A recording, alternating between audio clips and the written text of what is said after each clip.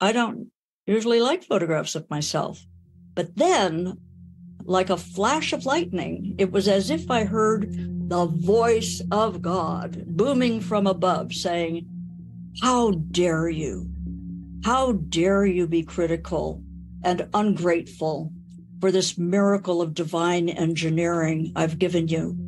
A body that's relatively pain free, that has blood that circulates, and a heart that beats predictably, and eyes that see, ears that hear, and a voice that can hum to a baby and scream against injustice and offer thanks for this incredible gift.